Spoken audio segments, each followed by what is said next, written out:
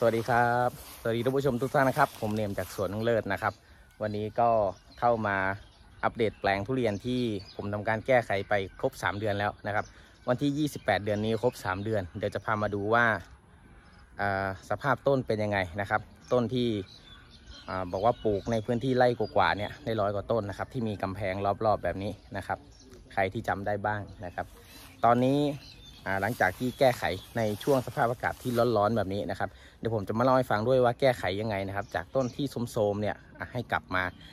สวยปกติแบบนี้นะครับไปเดี๋ยวพาไปดูกันเลย ครับผมสำหรับโซนนี้เป็นโซนที่อะทุเรียนเนี่ยสวยที่สุดในแปลงแล้วนะครับ ก็ถือว่าสวยขึ้นมากเลยนะครับ ใบเนี่ยรู้สึกมีความเขียวขึ้นนะครับ หลังจากที่เมื่อก่อนเนี่ยใบเขาไหม้นะครับ ใบไหม้เกือบทั้งแปลงเลยนะครับ ทั่วทั้งต้นเลย ใบไหม้เนื่องจากฉีดพวกน้ำหมักปลาลงที่ใบเยอะเกินไป ก็เลยทำการแก้ไขโดยการนะงดไปก่อนนะครับ งดงดพวกของหมักทุกอย่างที่ใช้ฉีดทางใบนะครับ แล้วก็ฉีดบ่อยมากนะครับ ฉีดบ่อยมากแบบสามวันห้าวันเจ็ดวันครั้งหนึ่งเนี้ยใบมันรับไม่ได้นะครับ ใบก็เลยเกิด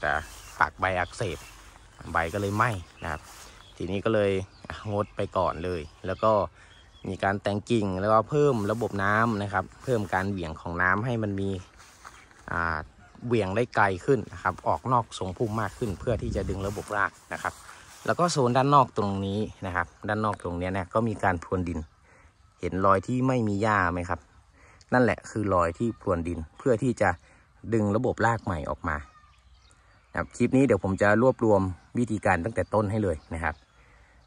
เราพรวนดินเพื่อที่จะดึงระบบรากใหม่ออกมานะเราพรวนเสร็จแล้วเนี่ยก็จะมีอินทรีย์วัตถุเข้ามาใส่จำพวกขี้แกลบแล้วก็ขี้วัว บวกกับพวกขี้ไก่อันเม็ดด้วยนะครับ แล้วแต่ได้อะไรมาก็ใส่ ตั้งแต่ทำการแก้ไขมา 3 เดือนนะฮะลงปุ๋ยอินทรีย์ไปรอบแรกวันที่พรวนดินนะครับวันที่พรวนดินเพิ่มระบบน้ำ แล้วก็เติมปุ๋ยอินทรีย์เข้าไป ประมาณ 2 เดือนนะครับ ก็มาใส่อินทรีย์อัดเม็ดบริเวณเดิมเลย บริเวณที่เราพรวนดินเลยนะครับ ในการใส่เนี่ยต้นเนี้ยอยู่ที่ประมาณครึ่งกระสอบนะครับ กระสอบหัวอาหารเรานี่แหละนะครับ กระสอบขี้ไก่แกลบธรรมดา กระสอบละ 30 กว่าบาทนี่แหละ ก็แบ่งใส่ต้นหนึ่งขนาดนี้นะครึ่งกระสอบ ทีนี้ก็เรื่องของปุ๋ยทางใบครับ ปุ๋ยทางใบเนี่ย ผมฉีดธาตุรวมเท่านั้นนะครับ ฉีดธาตุรวมเท่านั้น เพราะว่า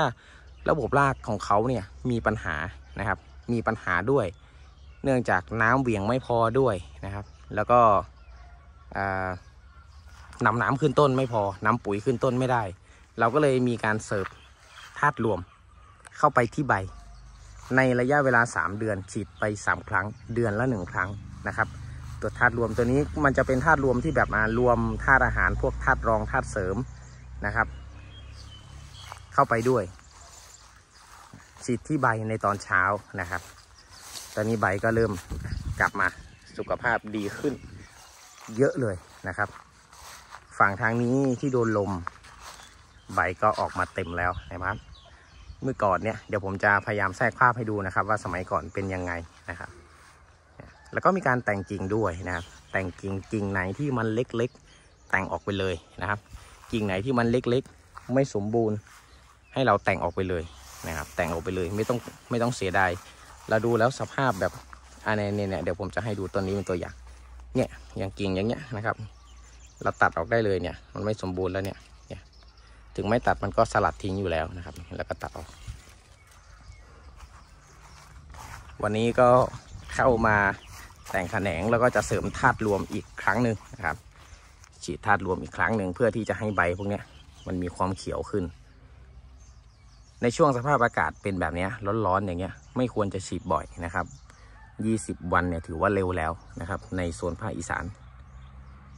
สังเกตดูที่ดินนะครับ ดินเนี่ยจะมีความชุ่มอยู่ตลอดเวลานะตรงนี้นุ่มมากเลย แล้วก็ดินตรงนี้เป็นดินก้นบ่อเป็นดินถมนะครับ ซึ่งไม่เหมาะแก่การปลูกทุเรียนเนี่ย เพราะว่าดินมันเหนียวนะครับ ดินมันเหนียวแบบเนี้ยเนี่ยครับนี่นี่ดินเป็นอย่างเงี้ย มันเหนียวนะครับ แม้แต่รากหญ้ายังชอนชัยได้ยากนะครับรากทุเรียนก็ลำบาก เราก็เลยมีการพรวนดินแล้วก็เติมอินทรีย์เข้าไปนะครับ ประมาณนี้นะครับ ในเรื่องของการฟื้นฟูแล้วก็แก้ไขนะครับ สังเกตดูนะครับ ตั้งแต่ผมพูดมาเนี่ย ไม่ได้เร่งเลยนะครับ ไม่ได้เร่งเลย เพียงแต่เรารอจังหวะให้ต้นไม้เขาเนี่ยอยู่ในสภาพที่กินอาหารได้แล้วค่อยเสิร์ฟนะครับ รู้ยังไงว่าสภาพยังไงกินอาหารนี่ มีการแตกยอดใหม่แบบนี้ ใบเพสลาดแบบนี้ นะครับเนี่ยสวยนะถือว่าสวย ยามาลงมแมลงก็ฉีดตามอาการเลยนะครับ ยอดอ่อนมาเมื่อไหร่เนี่ยก็ฉีดดักพวกเพลี้ยจักรจันนะครับพวกเพลี้ยจักรจันพวกเพลี้ยไฟพวกนี้นะครับ ดักไว้ ประมาณนี้นะครับ ในการแก้ไขแปลงนี้เผื่อใครที่มีปัญหานะครับ และอยากจะลองไปทำที่สวนดูก็ลองดูนะครับ มันแก้ไขได้จริงนะครับ ต้นไหนที่มันไม่สวยอย่างนี้นะครับ ก็ต้นเนี้ยได้เสริมปลูกเนี่ยนะครับเจ้าของสวนเอามาปลูกเสริม ก็ไม่สวยแล้วแหละ ดูแล้วน่าจะได้ถอดออกนะครับ ต้นนี้กลับฟื้นขึ้นมาแทนเนี่ยใบเขียวเลยนะครับไหมจากสภาพต้นที่ดูไม่ได้เลยเนี่ย ก็เริ่มจะมาสวยแล้ว ต้นนี้ก็เช่นกันนะครับ ต้นนี้ก็เช่นกันมีการ ตัดยอด เพราะว่ายอดเนี่ยโดนแมงกัดนะครับ ใบก็ดูมันสะท้อนแสงนะครับ สีเขียวสะท้อนแสงสวยมากนี่ได้ยอดใหม่พุ่งขึ้นไปสูงเลยนะครับ ยอดใหม่นี่เกือบเกือบเมตรได้แล้วนะครับ ที่เขาพุ่งใหม่ ในระยะเวลา 3 เดือนเนี่ยเมื่อเทียบกับเราอะนะครับ คนดูแลสวนเนี่ยถือว่านานอยู่นะครับ แต่สำหรับต้นไม้อะไม่นานเลย เพียงแค่ 3 เดือนจะให้เขาฟื้นกลับมาสวยปกติเนี่ยเป็นอะไรที่ยากมากนะครับ เป็นอะไรที่ยากก็ต้องค่อยๆทำไปนะครับ ไม่ต้องเร่งไม่ต้องรีบนะครับ ยิ่งรีบเท่าไหร่ต้นไม้เรายิ่งโทรมนะยิ่งต้นนี้เห็นไหมนะครับดูสภาพ ทรงกิ่ง ทรงเสียหมดเลยไม่ได้อะไรเลยนะครับ ก็ทำการตัดยอดออกเพื่อที่ให้เขาแตกยอดใหม่ ได้กิ่งกระดงมาสองกิ่งนะครับ ทีนี้ก็จะมาเลือกว่ากิ่งไหน นะครับ แต่ผมจะไว้ทั้งสองเลยครับไว้ทั้งสองกิ่ง แต่ว่าต้องตัดกิ่งกลางนี้ออกนะครับ เอาตรงกลางนี่ออก เพื่อที่ไม่ให้จะกิ่งมันชนกัน ถ้าเกิดเราจะไว้กิ่งเดียวเกินไป มันก็กิ่งน้อยนะครับ จะไว้กิ่งเดียวก็ได้ 2 กิ่งก็ได้เลือกเอานะครับ แล้วแต่ผมชอบ แต่ผมตัวเนี้ยผมจะไว้ 2 กิ่งนะครับ เพราะว่าข้างล่างเขามันไม่มีกิ่งเลยนะครับ พวกเนี้ยก็จะได้เอาออกนะ ทรงมันไม่สวยแล้วเดี๋ยวรอตัวเนี้ยโตนะครับ กิ่งล่างเนี่ยได้ล้อออกหมดเลยเพราะมันไม่มีทรงไม่มีกิ่งไหนที่จะสามารถห้อยลูกได้ ประมาณนี้นะครับ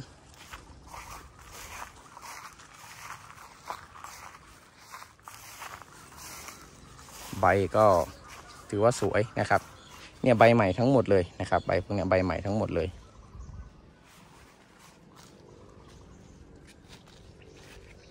เรื่องของแมลงไม่มีนะครับเนี่ยถ้าเกิดเราฉีดยาได้เก็บแมลงได้ก็จะอยู่ในลักษณะนี้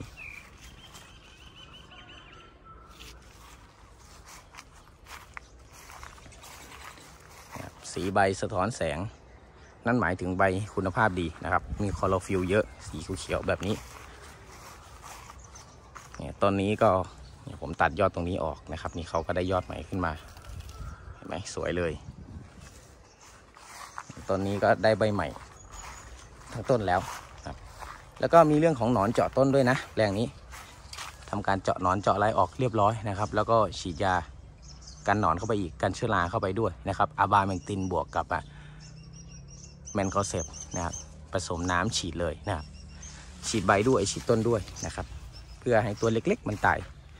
โอเคครับ วันนี้ก็ขอบคุณท่านผู้ชมนะครับ ที่ติดตามแล้วก็รับชม วันนี้เข้ามาอัปเดตทุเรียนแปลงนี้เพียงเท่านี้นะครับ ก็เห็นแบบนี้ก็ดีใจนะครับ ดีใจที่ต้นไม้มันฟื้น เข้ามาที่แรกเนี่ยผมไม่คิดว่ามันจะฟื้นได้ขนาดนี้นะครับ เพราะว่าต้นมันมันหนักมากนะครับหนักมากเลย ไม่คิดว่าใบเขาจะกลับมาเขียวสดใสแบบนี้ นี่นี่นี่มันเป็นแบบนี้เลยนะครับ เมื่อก่อนเนี่ยเนี่ยครับ สภาพต้นเป็นแบบเนี้แต่ต้นนี้เขายังไม่ฟื้นนะครับเขายังไม่ฟื้นยังเนี่ยยอดเป็นแบบเนี้ย ระบบรากพังเสียหายนะครับ